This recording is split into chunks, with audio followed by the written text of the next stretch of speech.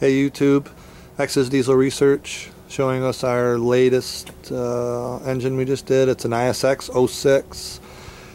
Um, completely rebuilt the engine. It's all uh, low friction treated bearings, pistons, liners. It's got one off uh, engine oil coolers that are made out of metal, not the plastic ones Cummins uses that fail. Everything has been coated, treated. Front gear train has been polished, treated is a lot quieter. Um, we got rid of the uh, known failure turbo. We're running a Borg Warner turbo on this truck. We also have uh, a new manifold the BD Diesel came out with.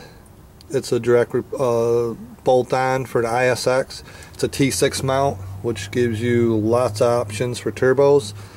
It's a really nice manifold. We're really impressed with this. Um, works great, fits, uh, fits the truck really great. Um, and now, so yeah, we'll start it up here.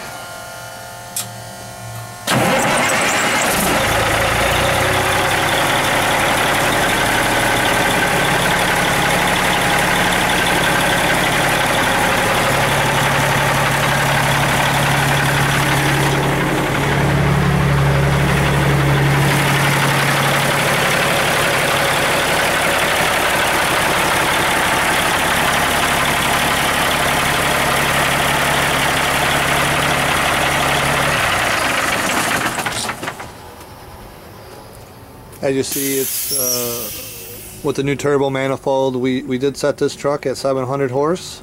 It's at the motor. Um, should survive. Everything has uh, been coated and treated. So we got rid of a lot of known failures. So uh, we'll see how everything goes. Sounds good, runs good.